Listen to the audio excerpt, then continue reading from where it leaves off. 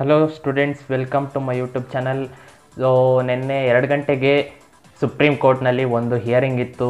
P U C repeaters ಆಗಿರಲಿ P U C private students ಹಾಗೆ ಎಲ್ಲ Andhra Pradesh government Karnataka government Kerala government P L appeal ಆಗಿತ್ತು. ಅದ್ರ ಬಗ್ಗೆ result ಏನಾಯಿತು ಅಂತ ಎಲ್ಲ ವಿದ್ಯಾರ್ಥಿಗಳಿಗೂ ಒಂದು ಗೊಂದಲ ಇತ್ತು. ಅದ್ರ ಬಗ್ಗೆ ಸಂಪೂರ್ಣ ಮಾಹಿತಿಯನ್ನು ಈ ವಿಡಿಯೋದಲ್ಲಿ ತಿಳಿಸ್ಕೊಡ್ತೀನಿ.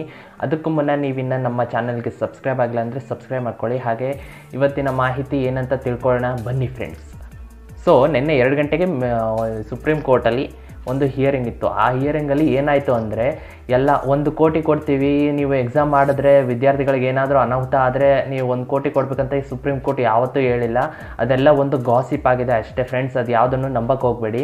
ಏನಂತ ಹೇಳಿದ್ದಾರೆ ಅಂದರೆ, ಆಂಧ್ರ ಪ್ರದೇಶ್ ಗೌರ್ಮೆಂಟ್ಗೆ ಅವರು ನಾವು ಎಕ್ಸಾಮ್ಸ್ನ ಕ್ಯಾನ್ಸಲ್ ಮಾಡ್ತೀವಿ ಅಂತ ಹೇಳಿ ಅವರು ತಮ್ಮ ಅಪೀಲ್ ಹಾಕಿದ್ನ ವಾಪಸ್ ತಗೊಂಡಿದ್ದಾರೆ. ಆದರೆ ಕರ್ನಾಟಕ ಗೌರ್ಮೆಂಟ್ ಆಗಿರಲಿ, ಕೇರಳ ಗೌರ್ಮೆಂಟ್ ಆಗಿರಲಿ ತಾವು ಹಾಕಿರುವಂತಹ ಅಪೀಲಲ್ಲಿ ಏನಂತ ಹೇಳಿದೆ ಅಂದರೆ ಸುಪ್ರೀಂ ಕೋರ್ಟು, ನೀವು ನಿಮ್ಮ ಸ್ಟೇಟ್ ಅಲ್ಲಿ ಬರುವಂತಹ ಹೈಕೋರ್ಟಲ್ಲಿ ನೀವು ಅಪೀಲ್ ಹಾಕೊಳ್ಳಿ.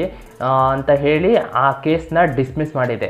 ಯಾವುದು ಕರ್ನಾಟಕ ಗೌರ್ಮೆಂಟು ಮತ್ತು ಕೇರಳ ಗೌರ್ಮೆಂಟ್. ಅದಕ್ಕೆ ಹೇಳ್ತಾ ಇದ್ದೀವಿ ನೀವು, ನೀವೇನಾದರೂ ನಿಮ್ಮ ಎಕ್ಸಾಮಿನೇಷನ್ಸ್ ಕ್ಯಾನ್ಸಲ್ ಮಾಡಬೇಕಂದ್ರೆ ನಾವು ಹೈಕೋರ್ಟ್ಗೆ ಹೋಗಬೇಕು. ನೀವು ಸುಪ್ರೀಂ ಕೋರ್ಟ್ ತನಕ ಬರಬಾರ್ದು ಅಂತ ಹೇಳಿ ಆ ಕೇಸ್ನೆಲ್ಲ ಡಿಸ್ಮಿಸ್ ಮಾಡಿದೆ. ಹಾಗೆ ನೀವು ಈಗ P U C repeaters P U C private ಸ್ಟೂಡೆಂಟ್ಸ್ಗೆ ಒಂದು ಹೈಕೋರ್ಟಲ್ಲಿ ಅಪೀಲ್ ಹಾಕಿದ್ದಾರೆ. ಅದು ಜುಲೈ ಐದನೇ ತಾರೀಕಿಗೆ ರಿಸಲ್ಟ್ ಏನಂತ ಬರ್ಬೋದು. ಅದಕ್ಕೋಸ್ಕರ ಕಾಯ್ತಾ ಇರಿ. ಹಾಗೆ ಎಸ್ ಎಲ್ ಸಿ ವಿದ್ಯಾರ್ಥಿಗಳಿಗೆ ಎಕ್ಸಾಮಿನೇಷನ್ಸ್ ಮಾಡ್ತಾರೆ. ಎಲ್ಲರೂ ಎಲ್ಲದಕ್ಕೆ ಓ ಪ್ರಿಪೇರ್ ಆಗೋದಕ್ಕೆ ಸ್ಟಾರ್ಟ್ ಮಾಡಿ July first July second week ಇಲ್ಲ ತರ್ಡ್ ವೀಕ್ ಪಕ್ಕ ಎಕ್ಸಾಮಿನೇಷನ್ಸ್ ಮಾಡೇ ಮಾಡ್ತಾರೆ. ಅದಕ್ಕಾಗಿ ಹೇಳ್ತಾ ಇದ್ದೀನಿ. ಯಾಕಂದರೆ ಎಕ್ಸಾಮಿನೇಷನ್ಸ್ ಕ್ಯಾನ್ಸಲ್ ಮಾಡುವಂತಹ ಸಾಧ್ಯತೆ ತುಂಬಾ ಇಲ್ಲ. ಯಾಕಂತ ಹೇಳ್ಬೋದಾದರೆ, ಎಲ್ಲ ಗೌರ್ಮೆಂಟ್ ಆಲ್ರೆಡಿ ಮಾಡೆಲ್ ಪೇಪರ್ನ ರಿಲೀಸ್ ಮಾಡಿದೆ ಒ ಎಂ ಆರ್ ಶೀಟ್ನ ರಿಲೀಸ್ ಮಾಡಿದೆ. ಅದಕ್ಕಾಗಿ ಹೇಳ್ತಾ ಇರೋದು, ಕರ್ನಾಟಕ ಎಜುಕೇಷನ್ ಡಿಪಾರ್ಟ್ಮೆಂಟ್ ಕಡೆಯಿಂದನೇ ಅವರು ಆಲ್ರೆಡಿ ರಿಲೀಸ್ ಮಾಡಿಬಿಟ್ಟಿದ್ದಾರೆ. ಮಾಡೆಲ್ ಕ್ವಶನ್ ಪೇಪರ್ ಮಾಡೆಲ್ ಏನೇನು, ಯಾವ ಯಾವ ರೀತಿ ಎಕ್ಸಾಮಿನೇಷನ್ಸ್ ಕಂಡಕ್ಟ್ ಮಾಡ್ತೀವಿ, ಯಾವ್ದ್ಯಾವ್ದು ಸೇಫ್ಟಿ ಎಸ್ ಒ ಪಿ ಕೂಡ ಒಂದು ಮಾರ್ಗಸೂಚಿಯನ್ನು ಕೂಡ ರಿಲೀಸ್ ಮಾಡಿಬಿಟ್ಟಿದ್ದಾರೆ. ಅದರ ಮಾಹಿತಿ, ಸಂಪೂರ್ಣ ಮಾಹಿತಿಯನ್ನು ನಾನು ಈ ವಿಡಿಯೋ ಕೊನೆ ಹಾಕ್ತೀನಿ.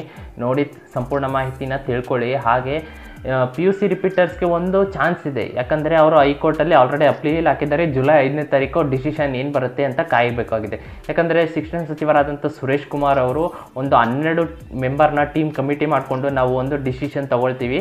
ಆ ಡಿಸಿಷನ್ನ ಸುಪ್ರೀಂ ಅದು ಹೈಕೋರ್ಟ್ಗೆ ಸಬ್ಮಿಟ್ ಮಾಡ್ತೀವಿ ಅಂತ ಹೇಳಿದ್ದಾರೆ.